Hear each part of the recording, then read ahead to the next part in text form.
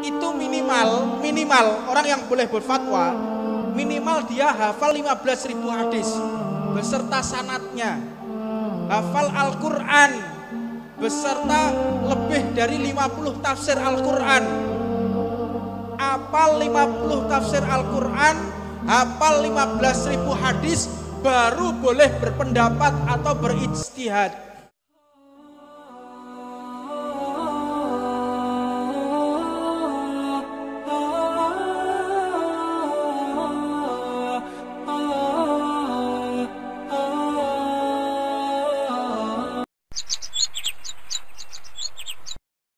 Bismillahirrahmanirrahim.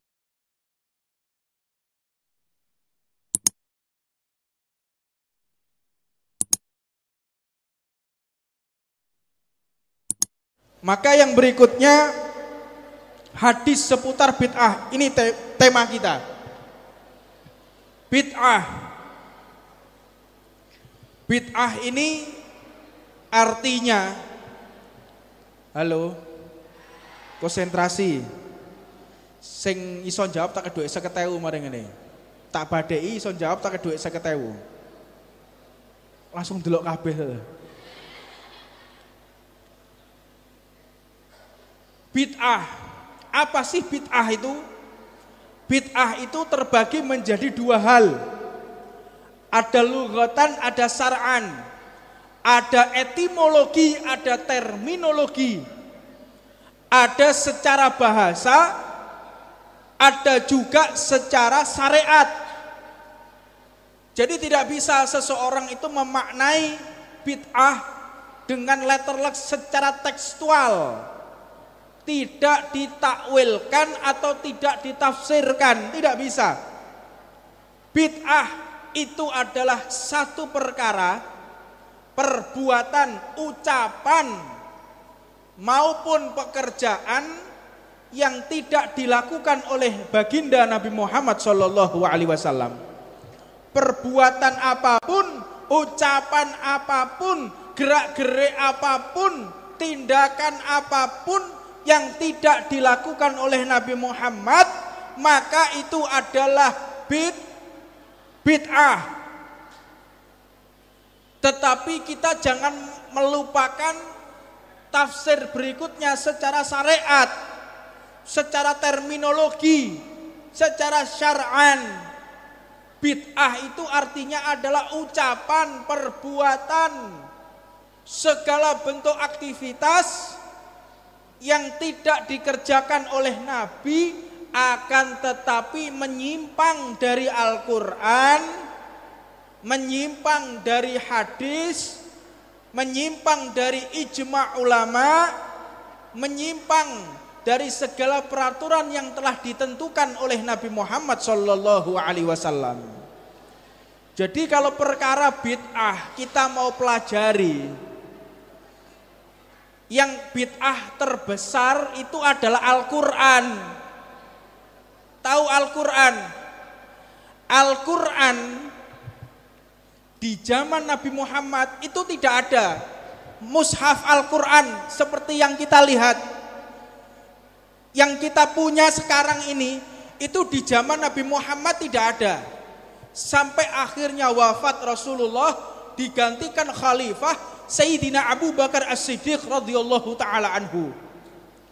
Pada masa khilafah Abu Bakar As-Siddiq, Sayyidina Utsman ibni Affan ini mengajukan permintaan kepada pemimpinnya yaitu Sayyidina Abu Bakar, wahai sahabat Rasulullah, wahai khalifah Rasulullah, aku ingin membuat Al-Quran aku ingin membukukan Al-Quran. Dijawab oleh Sayyidina Abu Bakar, bagaimana engkau akan membukukan Al-Quran? Allah tidak memerintahkan, Nabi Muhammad tidak mengajarkan, kenapa engkau meminta untuk membuat Al-Quran? Aku tidak berani, kalau memang membuat Al-Quran itu baik, pasti ada petunjuk dari Allah ada petunjuk dari baginda Nabi Muhammad Shallallahu Alaihi Wasallam. dijawab oleh Sayyidina Umar yang ada di samping Sayyidina Utsman. Ya khalifah, wahai khalifah, fa wallahi demi Allah innahul khair. Itu adalah baik. Ini adalah bid'ah tapi baik. Kata Sayyidina Abu Bakar, tidak, aku tidak berani. Nabi Muhammad tidak memerintahkan kok. Allah juga tidak menyarankan kok. Tidak ada hadis satupun, tidak ada firman di dalam Al-Quran maupun hadis kudsi firman Allah yang tidak ada di dalam Al-Quran menyarankan itu tidak ada. Memerintahkan untuk membuat Al-Quran tidak ada. Maka akhirnya Al-Quran itu tidak dibentuk, tidak dibuat. Sampai meninggalnya Sayyidina Abu Bakar As-Siddiq. Meninggal beliau. Diganti oleh Sayyidina Umar bin Al-Khattab. Diganti oleh Sayyidina Umar bin Al-Khattab. Ketika diganti diajukan lagi wahai Amiril Mukminin. Sayyidina Umar bin Al-Khattab, aku ingin membuat Al-Quran. Kata Sayyidina Umar, wahai Utsman, sahabatku. Kalau Sayyidina Abu Bakar, orang yang paling dekat dengan Nabi Muhammad tidak berani, orang yang paling memahami ucapan Nabi Muhammad itu tidak berani, lalu bagaimana aku akan melancangi, akan ijtihadku untuk melanggar yang telah dipikirkan oleh Abu Bakar As-Siddiq. Gak berani saya. Wong Sayyidina Abu Bakar aja gak berani. Lah tetapi kenapa? Dijawab oleh Sayyidina Utsman. Kenapa pada masa itu engkau mengatakan ini adalah baik? Kok bisa ngomong dewe toh? Yang masih berbicara tolong diam. Dengarkan, ini ilmu. Halo. Tolong yang masih berbicara empet dhisik. Ngomongnya di jamak takhir. Kok ngomong mana? Eman-eman. Jadi jangan berbicara sendiri. Halo, eh. Jangan berbicara sendiri tolong. Kalau ndak saya akhiri ini. Siap mendengarkan? Siap lanjut? Maka Al-Qur'an ini tidak ada di zaman Nabi Muhammad sampai Khalifah Sayyidina Abu Bakar sampai Khalifah Sayyidina Umar diminta oleh Sayyidina Utsman untuk membuat Al-Qur'an. Ayo buat Al-Qur'an, engkau yang mendukungku waktu itu. Dijawab oleh dijawab oleh Sayyidina Umar tidak berani karena ini tidak dilakukan oleh Khalifah Sayyidina Abu Bakar. Lalu bagaimana dengan pendapatmu? Aku tidak berani. Maka akhirnya sampai wafat Sayyidina Umar bin Al-Khattab masih belum ada yang namanya Al-Quran. Tidak ada Al-Quran itu. Zaman Khalifah Abu Bakar, Khalifah Umar bin Al-Khattab, Al-Quran tidak ada. Al-Quran pertama kali ada itu di zaman Sayyidina Utsman ibn Affan. Makanya mushaf yang kita punya itu namanya adalah mushaf Utsmaniyah. Mushaf yang dikarang oleh Sayyidina Utsman ibn Affan yang dikumpulkan. Makanya kaum-kaum tertentu tidak mau menggunakan Al-Quran karena membenci sahabat Nabi Muhammad Shallallahu Alaihi Wasallam. Untuknya kita harus memahami. Jadi bid'ah itu tidak harus sama dengan yang diucapkan oleh baginda Nabi Muhammad Shallallahu Alaihi Wasallam. Secara disiplin ilmu, bid'ah ini wajib kita pahami, jangan kita kaku. Sebab kalau kita kaku terjadi kontradiksi antara satu hadis dengan hadis yang lain. Terjadi kontradiksi. Sebagaimana yang disampaikan oleh baginda Nabi Muhammad sallallahu alaihi wasallam man sunna fil islami sunatan hasanatan jadi antara satu hadis dengan hadis yang lain ini kontradiksi jika dipahami secara tekstual jika dipahami secara kalimat yang satu Nabi Muhammad mengatakan kullu bid'ah dolalah Barang siapa yang membuat perkara baru di dalam agama dia masuk neraka.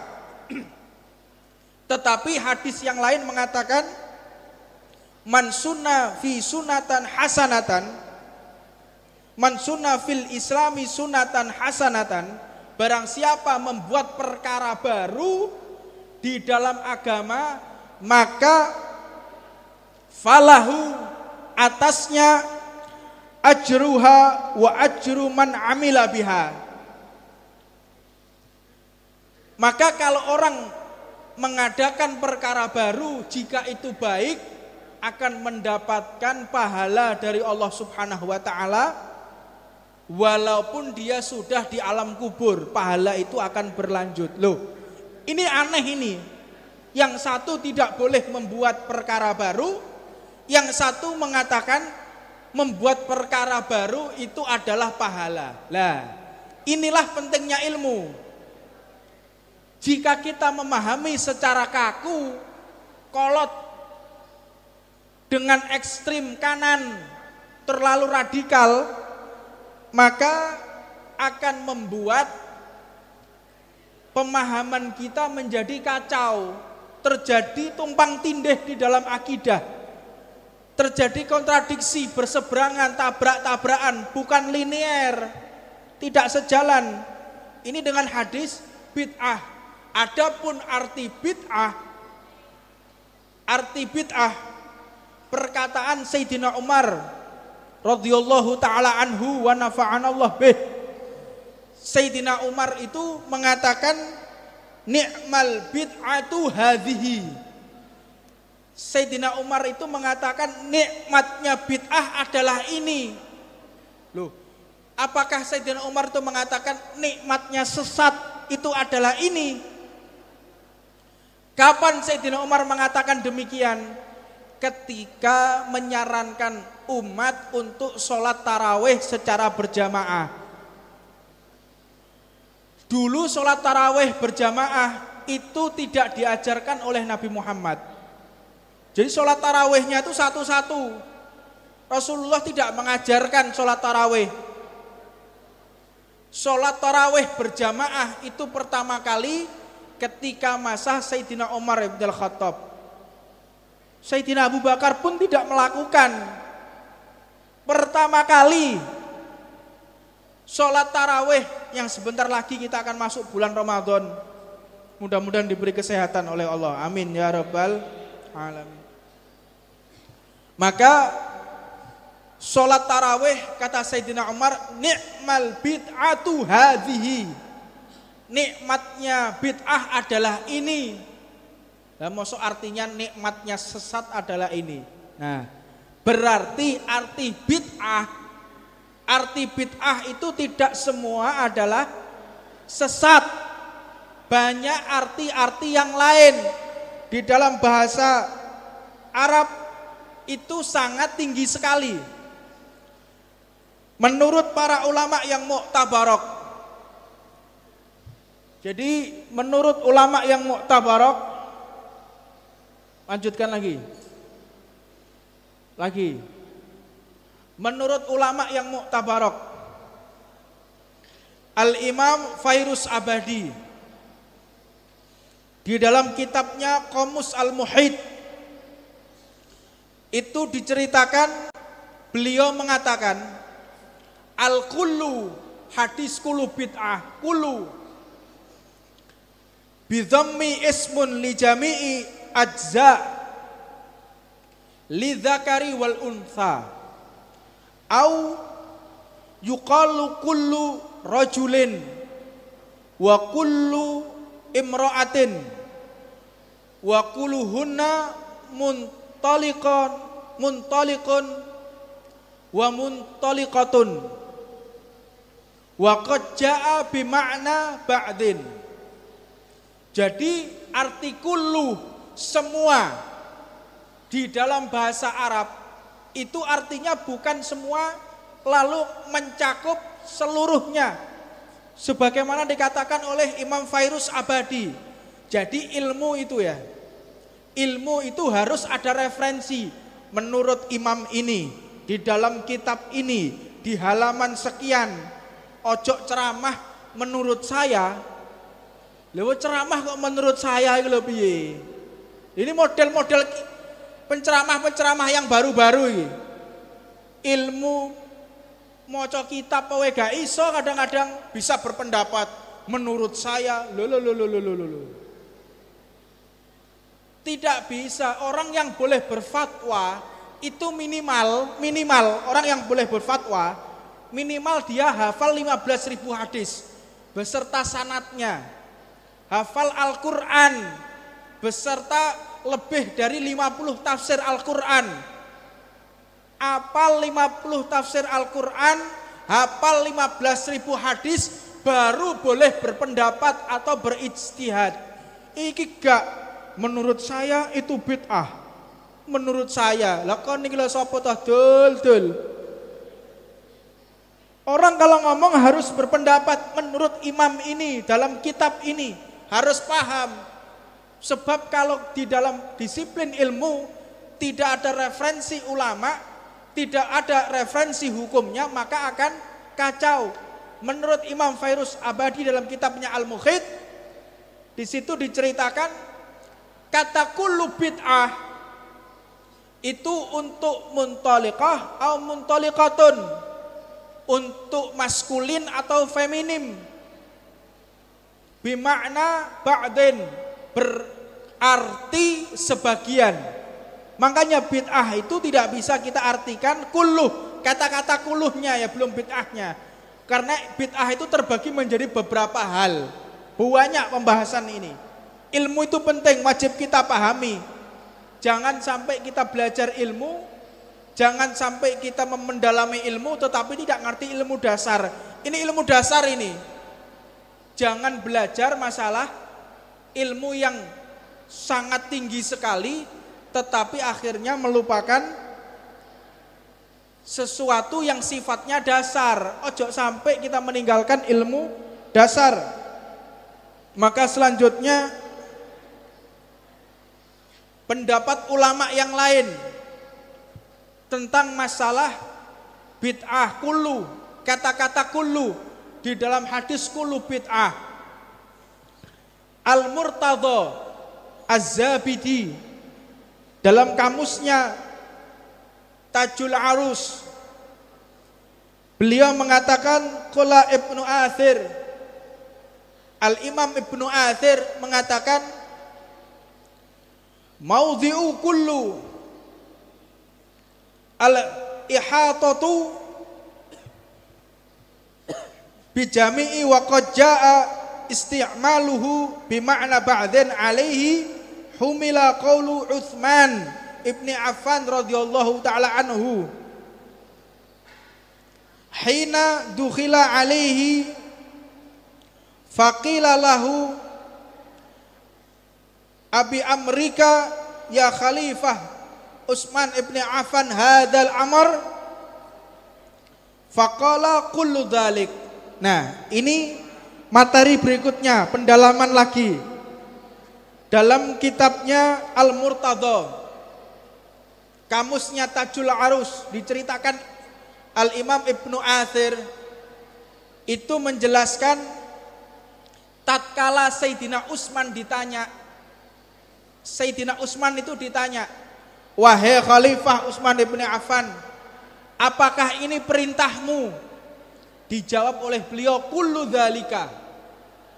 Padahal perintah ini tergabung antara perintah Rasulullah, perintah Sayyidina Abu Bakar, perintah Sayyidina Umar ibn al-Khattab. Tetapi juga mengatakan kullu dzalika. Semua itu perintah dariku. Padahal prakteknya Bu bukan. Prakteknya bukan, tapi kenapa dikatakan semua itu perintahku? Berarti di dalam bahasa Arab kata-kata kullu itu bukan untuk semuanya, tetapi sebagian. Jadi kalau orang memahami Al-Qur'an, gramatika di dalam bahasa Arab, belajar nahu, belajar balaghah, ada fan ilmu lagi namanya ilmu badi'. Disiplin ilmu itu ada ilmu badi'. Cabang ilmu dari ilmu balaghah. Itu kalau kita belajar lagi kata-kata kullu itu terbagi lagi. Maka jika seseorang memahami kata-kata kulluh artinya adalah semua, maka menjadi kontradiksi antara satu hadis yang satu dengan yang lainnya. Jadi ini yang bisa saya sampaikan. Mudah-mudahan ada manfaatnya. Mudah-mudahan kita diberkahi oleh Allah Subhanahu wa taala.